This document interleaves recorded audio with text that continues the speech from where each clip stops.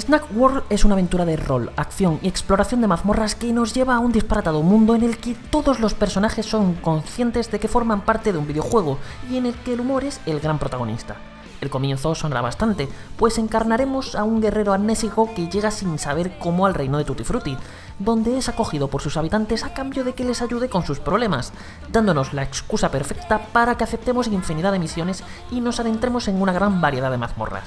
Evidentemente, esto acaba desembocando en todo tipo de absurdas empresas que van desde batear yetis para mandarlos de vuelta a casa con un honram hasta buscar una escatológica crema para la piel con la que la princesa de turno se ha encaprichado. Las situaciones que viviremos y el desarrollo que tienen los diálogos son una verdadera chifladura, algo que nos encanta y que ha hecho que hayamos soltado más de una carcajada con ciertos chistes que nos han pillado con la guardia baja centrándonos ya en lo que es su jugabilidad, decir que nos encontramos ante un dungeon crawler muy tradicional en el que debemos crearnos un personaje y adentrarnos en mazmorras generadas aleatoriamente para cumplir misiones y saquear sus tesoros. Evidentemente, el objetivo aquí es subir de nivel y mejorar nuestro equipo para hacernos más fuertes, ya que esto es lo que nos permitirá afrontar los desafíos más complicados. Esta es una dinámica que se repite constantemente durante toda la aventura, algo que empieza a pasarle factura mucho antes de lo que nos hubiese gustado. De hecho, es en el mazmorreo el que debería de haber sido su punto fuerte, donde más sentimos que falla, ya que no es capaz de mantener el interés vivo por la extrema simplicidad de su sistema de combate y la nula variedad de la que hacen gala sus calabozos. Pero vayamos por partes.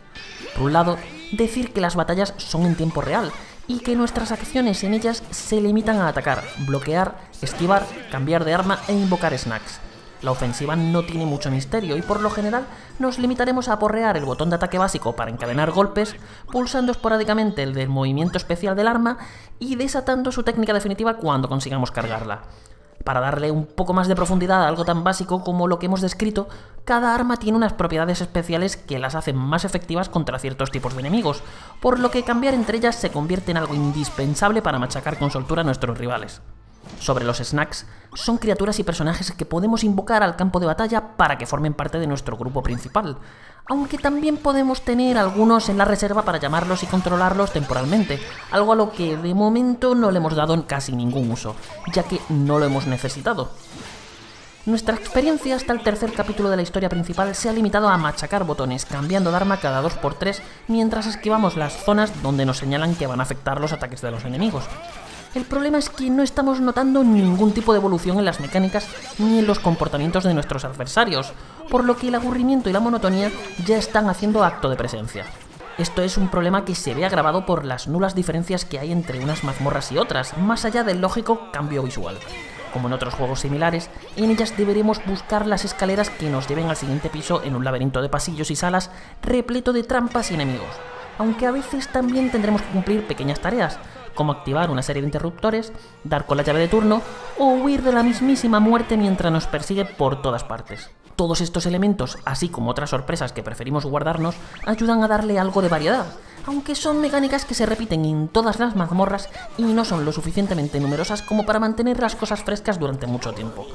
Da igual que nos manden a un bosque o a una cueva submarina, los retos siempre serán los mismos y no se aprovechan sus temáticas para diferenciarlas ni darles un toque único, lo que es una auténtica pena.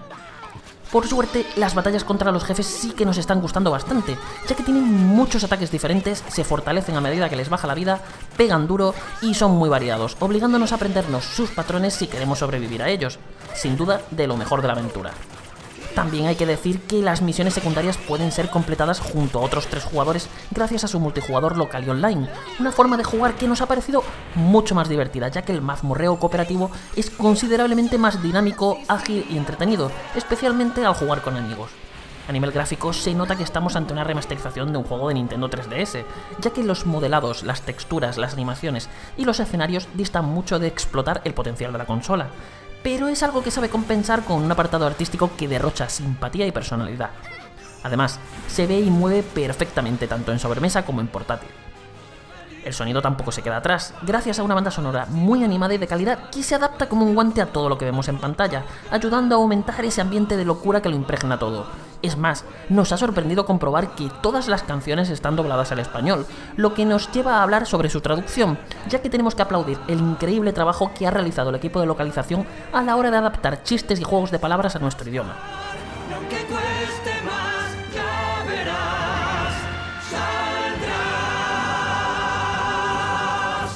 Snack World es un juego que nos está generando muchas sensaciones contradictorias. Por un lado, su alocado mundo y su sentido del humor nos está conquistando, pero por el otro nos encontramos un mazmorreo extremadamente básico que no evoluciona, llevándonos a un punto de saturación en el que todas nuestras aventuras se sienten exactamente iguales. Mentiríamos si os dijésemos que no tiene un algo especial que nos mantiene entretenidos, pero apenas hemos terminado el capítulo 3 y ya sentimos cierto agotamiento, lo que nos hace temer por lo que nos deparan las próximas horas, aunque queremos creer que será capaz de remontar.